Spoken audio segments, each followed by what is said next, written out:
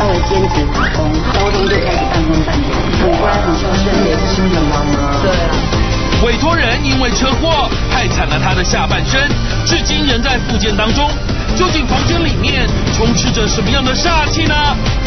现在房间煞气最多最大的问题，然后还有一点呢，就是吹风赏心，中手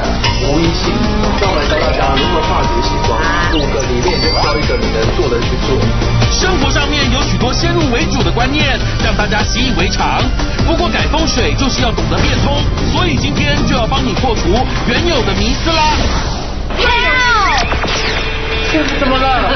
我跟你讲，助人为快乐之本，只要一有人求救，就是我们出现的时间。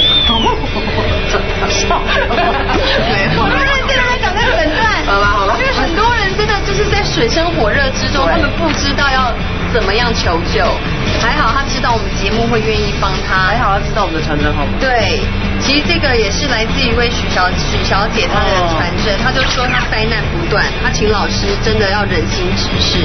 她这几年来官司、车关、大小车祸接连而来，而且她独立在抚养孩子，她非常的精疲力竭，就连做善事还要被污蔑、栽赃，所以她非常非常的惨。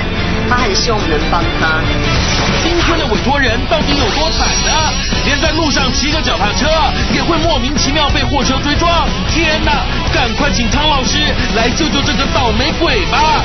欢迎汤哥。这个委托人真的是蛮严重的哦，只想讲一句话：我佛慈悲啦，善哉善哉哦。为什么呢？因为不管你是艺人还是素人哦，我们都要今天呢都要好好帮助委托人，嗯因为他确实他的状况真的是太惨了。哦，而且呢，我们之前在节目上讲了一些风水的格局啊，比如说地道啊、天斩啊等等状况，其实这些状况呢，在这个素人家可以一一的来印证。对。所以他等于是住进来之后，就是完全是每况愈下，每况愈下。健康也亮起红灯。对，而且不管经济啊、财务的压力也特别大。可是说真的，我们说风水已经出到现在现在四年了嘛，它的外观看起来好像没有不会造成这么严重的灾害。是啊，所以其实很多人说看风水还有个迷思哦，说哎老师你一定要先从外面帮我看起，可是呢，我迷死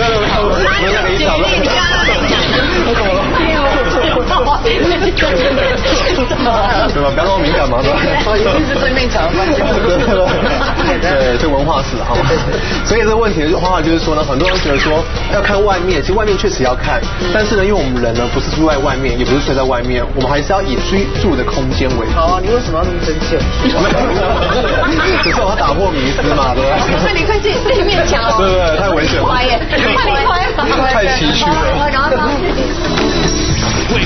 小姐是一位舞蹈老师，而在她身上发生的灾难都与车关有关，经历大小车祸，身体变得十分脆弱，皮肤容易受到感染。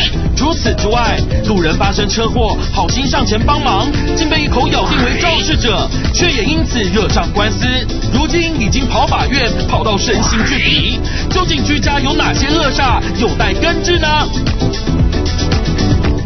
嗨，小姐好，出车祸，所以现在免疫系统比较差，所以医生是建议我戴着口罩比较好。哦，那一直都戴着啊，在家里也要戴啊。嗯，因为人哦，因为我们现在有录影的时间很多，所以好好，这些观众朋友稍微谅解一下，因为就是怕感染，对不对？不好意思。那你车祸身体恢复了吗？还没还没，现在还在治疗当中。哦，嗯，还在就医。那多久？十月到现在，对，到现在了。嗯，对，重大车祸，就被货车从后面，我骑脚踏车从后面撞我，我就整个飞出去。而且这不是第一次，对不对？嗯，第二次，你第一次是骑摩托车吗第？一次是摩托车。然后这一次是骑脚踏车，也没有被受伤。对，你要不要考虑下去走路？有，我有考虑，现在都要走路他。对对对，对呀，注意安你今天是舞蹈家对不对？舞蹈老师。那方便问你的车祸是脚也有受伤吗。呃，脚有骨折。哦，所以现在已经没有办法去跳。可以啦，可以跳，只是说现在又受伤，就是内伤的部分，还有头的部分。嗯，这边肿大，然后开口的话这边会痛，还有胸口。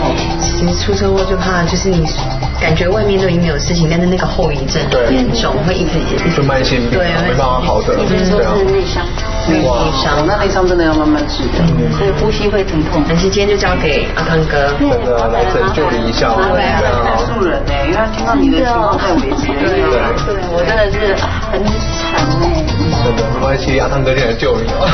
谢谢。谢 谢。他你要从哪里说起？其实从门口来讲说看文案你会说迷信。怎么会呢？对，名词。其实应该你看他。今天戴口罩嘛，其实他。在大门口呢也是帮他。戴一层口罩哦。为什么呢？因为其实他。的运势啊、事业上呢，其实开门呢就见壁了哦，一出门就碰壁。而且我们讲出门这个外明堂的地方呢，其实有这个墙壁是正常的，对但距离实在太近了。我们一般来讲的话，这个外明堂呢跟这一个距离的墙壁的距离，其实最起码要有一百五十公分以上。那就是要我的身高了。一百五这样子，对，像佩珍姐家出门也是有一个这样壁嘛，可是其实呢，那个洞距还是比较宽一点，没有这么的窄。那这个有多窄呢？我们可以现场来量一下哦。我们现在带个文公尺来量呢，这样经过它这个测量呢，其实我跑下来就好了。他这个测量是距离呢，这个距离只有九十六公分哦，对，九十六实在太窄了。九十六是有什么？九十六呢？好的吗？又是孤寡书。而且呢，第一个碰壁来讲，大门是一个引气孔嘛，嗯大门一挤，全家皆急；大门一摔，全家皆衰败。那什么意思呢？他的大门出门就碰壁了，他的好的气呢都进不来，进不来对啊，所以光财神爷都堵在门口。可是他现在如果要移，他这边是电梯耶。对啊，对啊他也没办法。所以没办法了嘛。而且呢，第一个没办法的情况下呢，化解的方式就是像佩珍姐家一模一样，我们可以挂一幅山水画在这个前面的这个地方墙壁上，那借由这个山水画的远景跟开阔呢，视觉的效果，把这个远景打开，然后水呢往里面流，代表说把这个彩水呢倒进来的意思，对就可以把这个化解。就是化山水画，对，化山水画有个远景，有个水引进来，嗯，然后呢，其实还会造成它呃另外一个就是说湖边的问题也很大，对所以说一进门它湖边就是碰壁嘛，而且又是一个安全门，所以呢，逃生门，应该是大家都怎么这么重啊？楼梯楼梯间嘛，对？重耶！你在逃生的时候怎么打开啊？没有，你压了它出去。哎呀，很重啊！哦，对，这是楼梯，所以它这个平常挡住的。平常很少在使用。当然当然，这是紧急的那个逃生的状况，但其实这个门呢，如果能够把它打开是最好的。所以不要关着。对，因为你看这个变成关起来的话，变成湖边完全碰壁。对那如果打开的话呢，刚好又是一个向上楼梯，嗯代表说龙虎都可以开阔。对啊，因为湖边封闭的话就不利于主人。是自己一个人坐着吗？还有小朋友，还有朋友？哦，现在自己自己独立在抚养他，嗯，对。所以是很辛苦。当然希望他自己的这个出路可以好一点。对，因为你看事业上又不稳嘛，已经开门见壁了，然后湖边又碰壁，所以呢不利女主人又不利事业运，真的很辛，苦。那这个就常常把它打开，你其实也可能稍微通风一点。对对啊，不要通风。好，那我们进来看一下。请进。一来到门口，马上发现问题，大门一开，前面和右边都碰壁，造成气场混杂。最好在门前挂山水画，以开阔远景。另外，再把安全门打开，让空气流通哦。哎，你们家看起来好新哦。对啊，这边这边是新的社区，新的社区哈嗯大概两三年。嗯，所以你也是住进来两三年的时间。呃，第一年，哦，今年就发生这么多事对。对，所以很惨。所以进门就看到的。是啊，因为学校刚刚不是说他意外血光很多吗？一进门就看到刀了哦。为什么？从进门就先碰壁，然后到这个房子来讲的话呢，一进门这个地刀呢又直接切往大到门代表什么？代表呢官非是非不断，然后呢血光的问题呢也是特别的多，所以一开门就借一把刀等着你哦，所以非常辛苦哦。那可以请教老师，是不是我这边做一个玄关，还是做一个屏风之类的，会有帮助？对，因为其实他一进来是好像每个房间对是一览无遗，对不对？这里会不会太挤啊？太挤了，因为其实这门这样关起来，这个空间这里应该都这边都是不能动的哦。对。对，它等于是要到这边嘛。对这个以后是。对啊，这条线以后，其实它这个你确实这个房子需要一个玄关啊跟屏风，但是呢绝对不是坐在这个大门的空间格局。为什么呢？因为以它我们讲个案哦会不同，每一个家里的实际状状况也会不同。像他们家呢的大门已经碰壁了，如果这边再做一个玄关的话呢，会把这个动线的气呢更是压迫。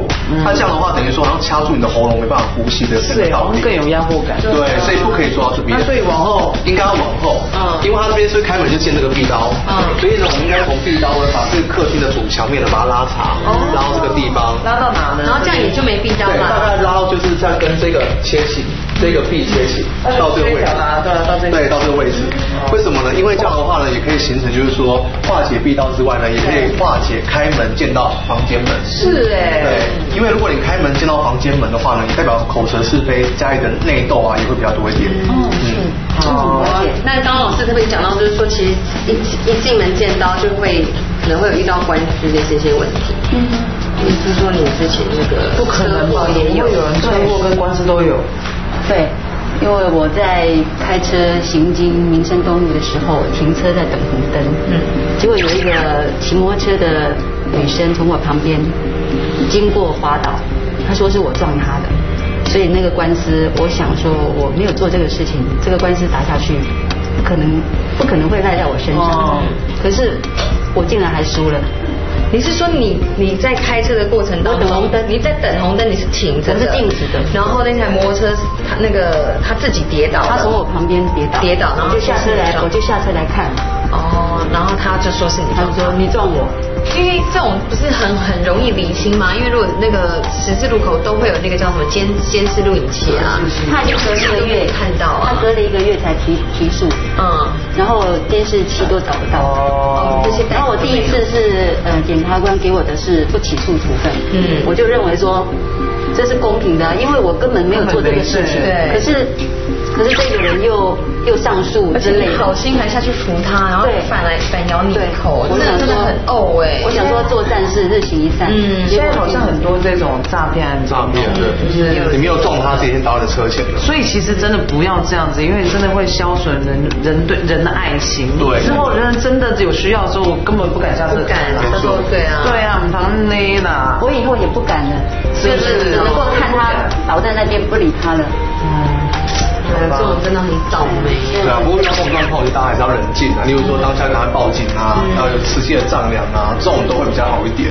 对啊，我觉得大家也不要担心啊，也不要失去那个每个人的不要失去爱心。啊。对。对，看看就是说他把这个壁刀。消灭化解。之后，，对，就可以先把这个一进门碰碰到这个血光的问题化掉，还有呢，就是一进门看到这很多的房间门，把它化解，因为这是口舌是非的问题。